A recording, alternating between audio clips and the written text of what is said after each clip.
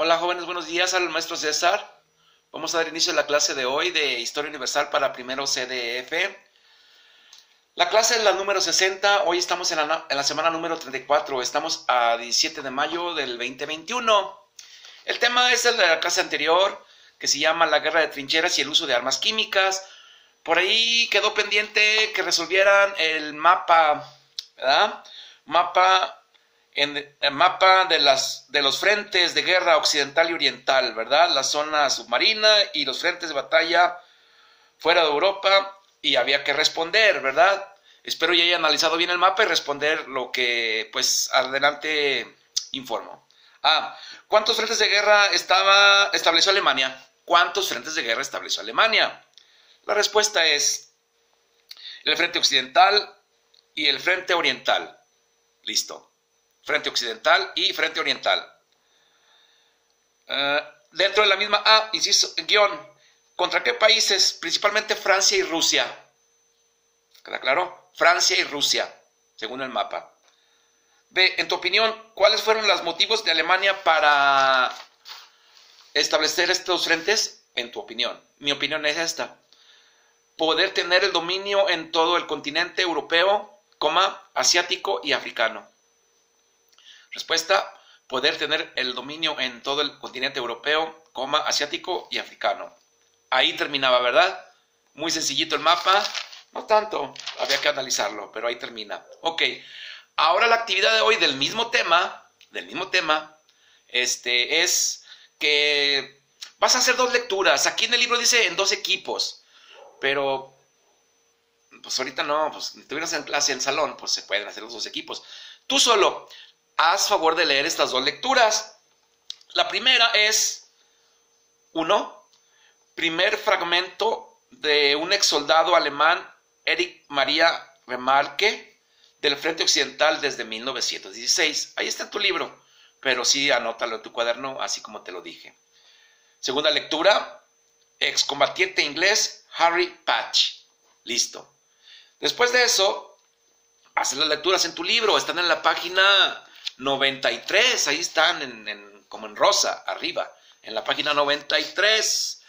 Son dos lecturas, ¿verdad? No son extensas, son eh, lecturas muy impresionantes de lo, cómo realmente se vivió la guerra, ¿eh? Da de, de plano escalofrío leer estas lecturas. Pero hay que leerlas para darnos cuenta de cómo son las guerras y que no se repitan, ¿verdad? Porque todos perdemos con las guerras. Bueno, hay países que ganan, pero realmente la humanidad pierde pierde, pierde valores, pierde vidas, pierde todo. Bien, entonces después de eso vas a dar respuesta a las preguntas, respondan. Si después de que leíste hay que responder. Pregunta Nada más las preguntas, mañana se revelan y seguimos adelante. ¿Queda claro? A. En forma de pregunta. A. Inciso A.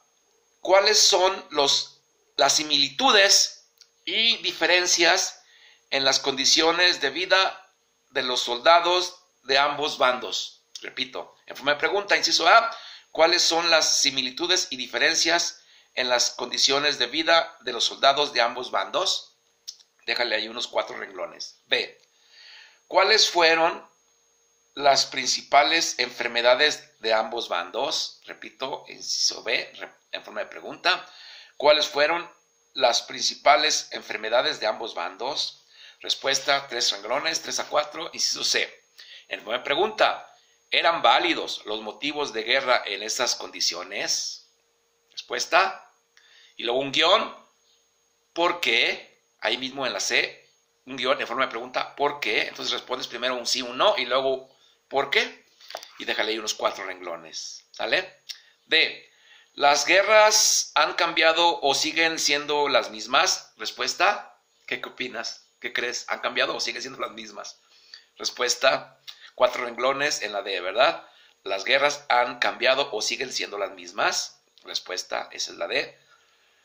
E, en forma de pregunta, ¿consideras válidos los motivos de guerra en la actualidad? Respuesta, igual guion, ¿por qué? Cuatro renglones en la E. Primero un sí un no en la E y luego el guion, ¿por qué? Y me das el por qué, el sí o no y el por qué en la E. F. ¿valieron la pena los costos humanos de, las, de la Gran Guerra? Respuesta F. Forma pregunta. ¿Valieron la pena los costos humanos de la Gran Guerra? Respuesta, sí o no. Y luego el guion, ¿por qué? Y ya respondes cuatro renglones. F. Y eso es para hoy, jóvenes. Muy sencillo, nada más lean. Lean, por favor. Si leen, van a poder hacer sus, preguntas y respuestas. Si no, pues no, van a poner puras tonterías y no quiero que pongan eso. Entonces, realmente, sí, hagan las lecturas. Recuerden lo que está en la página 93. Y mañana damos las respuestas y seguimos adelante. ¿Queda claro? Muy bien, jóvenes. Eso es todo por hoy. Me despido. Soy el maestro César Augusto Rubalcaba López. Estamos en Historia Universal, en la clase número 60 para primero CDF. Semana 34. Hoy, 17 de mayo del 2021, ¿verdad? Ok, suerte, ánimo. El día 23 es Día del Estudiante, jóvenes, no hay clase. Yo les doy el día, así se acostumbra. Entonces el día 23 no hay clase, ¿eh? Hoy estamos a qué? ¿A qué estamos hoy? A 17. Todavía faltan días. El día 23 no habrá clases, ¿eh? Porque es el Día del Estudiante, pero todavía falta, creo que es la próxima semana, ¿verdad? 17, sí. O solo que falta que el domingo, está checo el calendario, ¿verdad? Pero todos modos se los adelanto, ¿sale? Gracias, nos vemos enseguida.